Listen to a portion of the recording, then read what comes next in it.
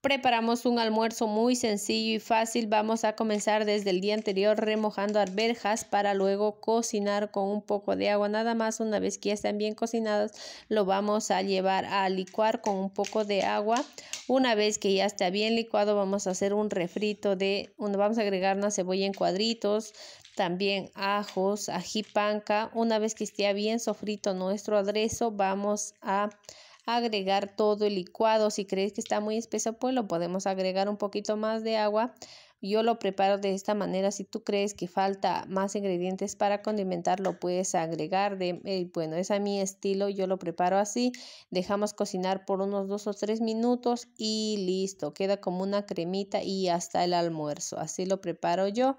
No sé ustedes cómo lo preparan, pero bueno, vamos a acompañar con pescado frito. Al pescado lo vamos a a apanar con una harina que ya viene lista, ya no agregué ningún otro tipo de ingredientes, ya está lista. Lo compré así como harina para apanar y pues este es el resultado. Vamos a llevar a freír el pescado en aceite bien caliente a fuego bajo, pues para que no se queme y se fría muy bien. Y eso es todo, así de sencillo y fácil será nuestro almuerzo el día de hoy. También vamos a acompañar con una ensalada de repollo y un jugo de naranja. Y listo, este fue el resultado. Espero te guste y te sirven algo. No te olvides de apoyarme con tu like y tu compartición. Bye.